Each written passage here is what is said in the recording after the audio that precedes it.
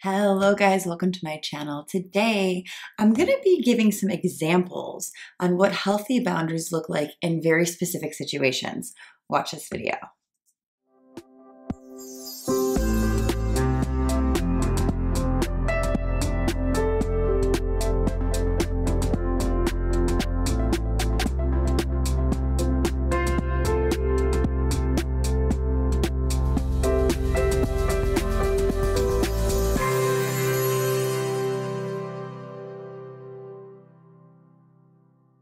Hey guys, welcome to my channel. If you're new, please click the little subscribe button, the bell to receive notifications when I release new videos. And if you've been with me for a while, thank you so much and welcome back. Today, we are, it's May 1st, 2022. We are celebrating the launch of my fifth online course. It is called Boundaries Bootcamp. And because of that, I want to give you some examples. My clients tend to love it when I do this. So I wanted to give you guys a little bit of what we do when we do boundary work. I want to give you some examples of what it actually looks like and sounds like to have healthy boundaries in specific situations. Okay, so let's get started. In the course, you have a plethora of this, plus worksheets, plus video lessons, plus a whole bunch of stuff. Okay, but this is an extremely tiny Cliff Note version of certain situations that could go awry if you don't have good boundaries and do go bad if you don't implement those boundaries due to guilt or shame or all the other things I'm going to describe in here. So, the first example is if you don't want to go out and your friends want you to go out, okay, it's happened to everybody. We all know. Most of the time, when someone asks you, hey, we want to go out to this club or this blah, blah, blah, or whatever, dinner, and you're like not feeling it, how many of you guys are like, but I don't want my friends to not love me and I don't want them to not approve of me and um, I don't want to feel uh, this, the nerves of like someone being mad at me. So I'll just go. And you go against your own boundary. Instead, this is what I'm going to suggest. Yeah, I hear that. You know, I just don't feel like it tonight. I'm really feeling like having some self care time. How many of you just got anxiety? Or you guys, I love you so much, but I feel like I just need to be at home. None of you want to do that. But I do that all the time. And I just feel like being at home. Healthy friends are like, okay, I totally get it. Wish you were with me. Would love it if you joined, but like I totally get that you need space. Or, you know, I'm just, I just feel like there's so many things I have to do instead, but um, catch me tomorrow. Right? Example number one. Example number two, you don't want to go eat Italian food when your boyfriend or girlfriend wants to go normally people with weak boundaries will say, God, I really don't feel like that. But sure, honey, I'd love to.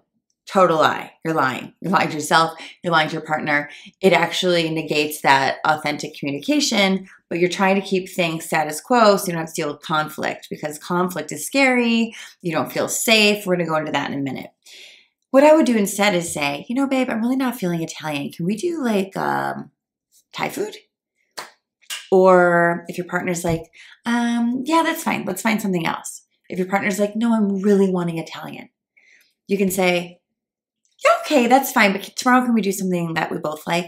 Because I really don't like Italian. So, like, tonight's Italian night for you, but tomorrow I really want to do Thai food. Is that cool? Yeah, sure, babe. Compromise, healthy, boundaries, right? Third example someone owes you money. How many people stress out about that? When someone owes you money and you're like, I feel guilty for asking, I feel super uncomfortable. Oh my God, I shouldn't even need it. Self judgment. Oh my gosh, I feel like, you know, if I ask them and they get mad at me, or they're to think I'm ridiculous for even reminding them, or I feel bad because they're to feel insecure, they're to feel ashamed that they forgot, all these stupid things that go through our heads, right? And if we're totally emotionally sovereign and we don't take everything personally, we'll stop worrying about, well, if they didn't pay me back, then it must mean that they don't value that, which means they don't value me. You're making it personal. If we take everything out that could be personal and we just say the facts are the facts, they owe me this money, it's been this long, I deserve to ask, it's respectful of them to pay me. We're so afraid that they won't, and then what that means. Instead, we have to take all that personal garbage out and say, this person owes me this, and I value myself enough to get what is owed to me. So, hey, friend, you actually owe me like 200 bucks and I've waited like a month, but I realize I kind of need to pay bills and stuff. Would it be okay if you pay me that in the next couple days? Not a big deal. The scary part is, huh, what am I going to say? And what are they going to say? The reality is, it doesn't really matter what they say. You need to get what you're owed. And if they're mad about it, that's not your problem. We got to stop this over responsibility thing. Another way you can do it is say, Oh my gosh, remember that 200 bucks you owe me? You actually never paid me back. I feel so bad even asking you, but if possible, I'd love to be paid back today or tomorrow. Awesome, right? No one likes that subject. It makes us feel like eh, shameful. but what's wrong with it? Nothing. Nothing is the answer. my other example if you need to take space from a drama person in your life someone who's in like a breakup that doesn't stop talking about it and you just need a little space what you can say is love you so much totally hear from you for you. I'm so busy in the next 24 hours it's not personal but just text me if you need me and if i don't get back to you right away it's because i'm in the middle of this work. Truth or, you know what? I know what you're going through and it's gnarly. I've been there. It's scary. It's crazy. I know that it's so much for you, but I need a little space right now for me because I'm going through my own stuff.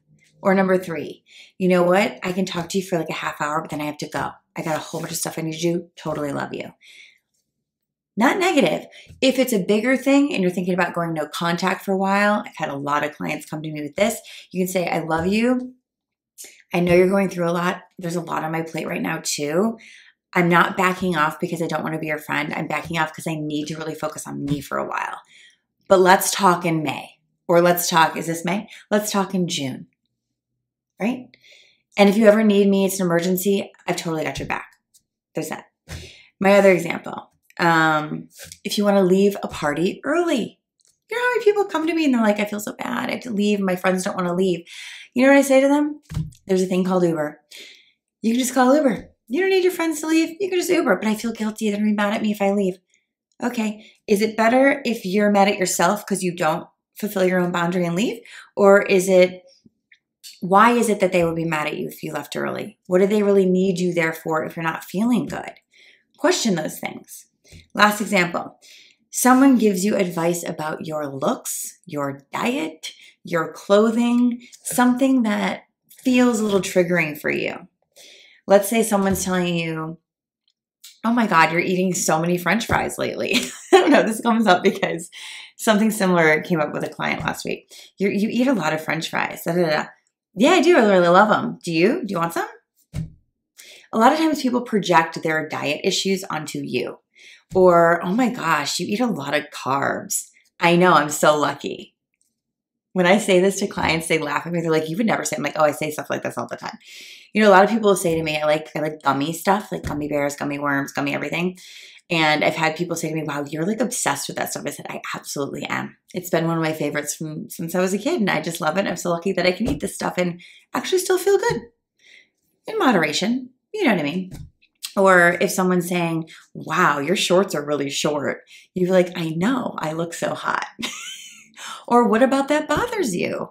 Or if someone's saying, um, hey, you know, I was thinking we're going to this party. It's actually pretty casual. You look really dressy. I know, I feel like standing out. Okay. Oh, I'm sorry. Does that make you un- uncomfortable? This is how I feel comfortable. Work this process. Look at what comes up in you when you think about having these boundaries. Is it uncomfortable to stand in your truth? And if so, great do it more. I'm all about the counterintuitive way. What we need to do is we need to realize that a lot of times we don't have these boundaries is because our inner child isn't totally trigger free yet. What that means is when you're younger, and you're afraid to say what your needs are or, or, what your preferences are, it's because someone else wasn't approving of it. And you're afraid of that conflict and you're afraid of disapproval because when you're a kid, it means survival. But when you practice this and you become more and more comfortable in being self approved because you realize your safety is now within you, you'll start to realize that the issue is that you're maybe feeling safe, but not emotionally safe because you're not totally emotionally sovereign. So, how we become emotionally sovereign is by doing these things to realize I'm standing up for myself, what I need, what I desire, what I prefer, and I still feel safe within myself. I want you guys to practice that. If you want to dive into inner boundaries, outer boundaries, emotional boundaries, spiritual boundaries, energetic boundaries, check out my emotional boundaries, or sorry, my boundaries. It is about emotional boundaries, boundaries bootcamp course. It is open. It is going to be open for enrollment for I don't know how long. We will see. But we're open now today. The link is below. It is also right here. I hope you check it out. I hope you tell anyone about it. If you're highly sensitive, you need this course.